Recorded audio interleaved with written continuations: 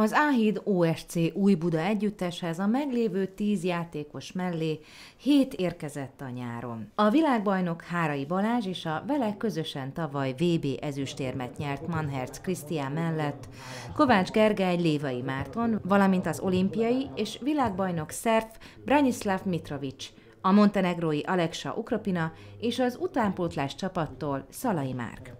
Az új csapatkapitány Hárai Balázs előrelépést vár új együttesétől a legutóbbi idényhez képest, amikor a bajnokságban negyedikként zárt, míg a bajnokok ligájában csoportjában hetedik lett a gárda.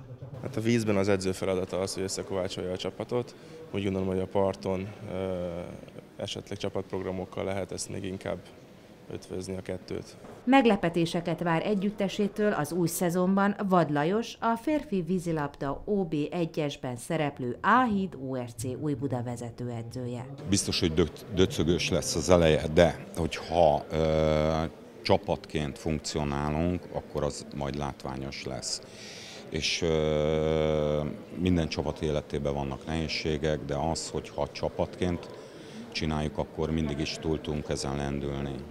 Az új csapat mentálisan és fizikálisan is összeérett, de kell még egy kis idő ahhoz, hogy az összeszokás sikerüljen, mondta a világbajnok szerv Branislav Mitrovic. Hozzátette, ezzel együtt már az elején is minden mérkőzést meg kell nyerniük, hogy versenyben maradjanak a céljaikért.